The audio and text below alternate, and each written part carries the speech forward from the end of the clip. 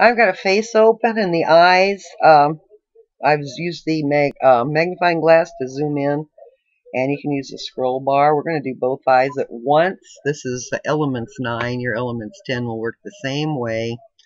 First thing you want to do is, of course, I've already done it. You have background here. Make sure you right click on it and it'll say layer from background. The background layer film just has a lock on it, which means there are some things you can't do with it. So it's always better to work on a background copy. Uh, first thing we want to do Here's the lasso tool, lasso tool. Right and click on and right click. Click and hold on the little triangle. Click the magnetic lasso tool. No feathering. Up here I have it set to add just so we can do both at once. Anti-aliasing. Uh, you can click that off. Width I have 10 pixels. That's enough. Contrast 10%. Frequency I have no idea what that is and tablet pressure. We don't have a tablet. And first take a look at your eye so you know exactly where the eyeball is and just kind of pretend go around it. You can see this pink spot here is not your eyeball, not her eyeball. Same thing here. The eye goes up, over, okay? And, you know, in your video, he made a lot of uh, long clicks. Depends on see where it's going off already? The magnetic lasso tool has to find a boundary. If it starts to go off just click there don't worry about it you have a whole lot of clicks at once your object is to select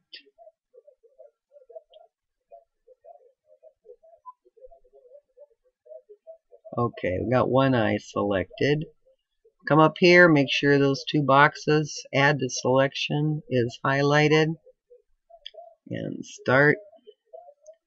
This eye has, the boundaries here are a little more definite than they were on the other eye. Whoops.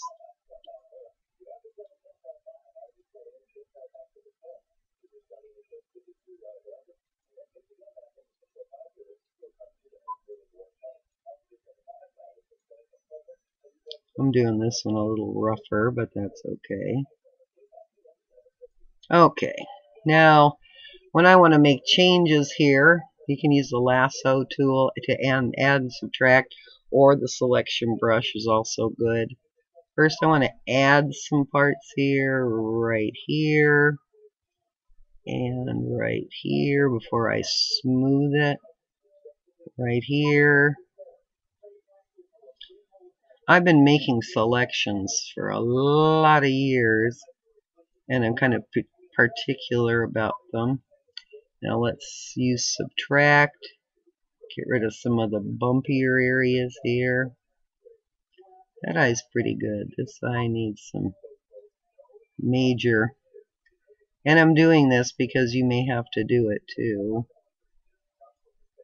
Okay. And there's a little bump there.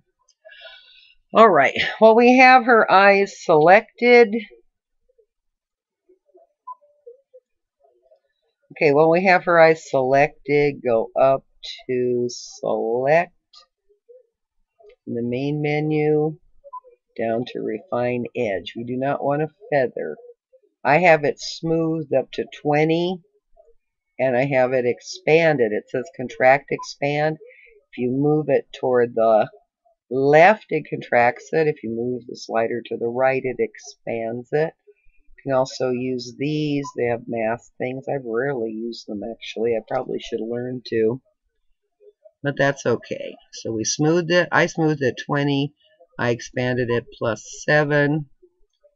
Now, we want to make a new, come down here uh, to the new layer icon, the one at the far left, and click it. You get a new layer. You want to make sure your foreground color is black. Choose your fill tool and go boink, and both of her eyes turn black. Now you want some highlights. So what we're going to do is we're going to Control D and we're going to turn that off so we can see the highlights. click on your magic wand tool. Come to the layers palette, click on your original photo. Up here I have the two overlapping solid boxes, add the selection, clicked on and highlighted. My tolerance is 32, anti-alias is unchecked, contiguous is checked.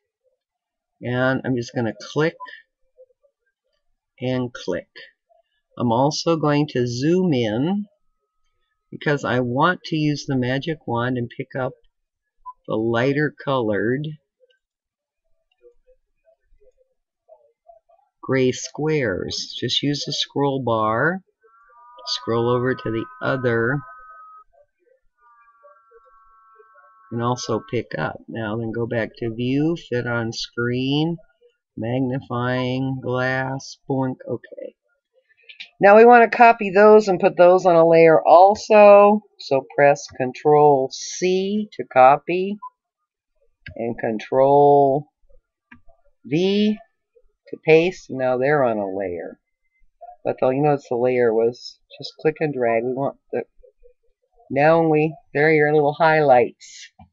Now if you see any um, places up here where you might want to erase, you know, some of the black, Now's the time to do it.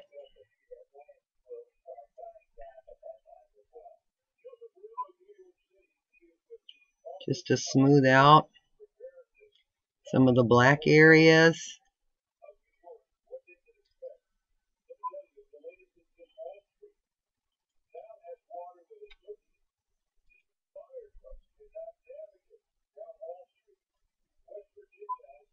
I don't like that one. Do it again.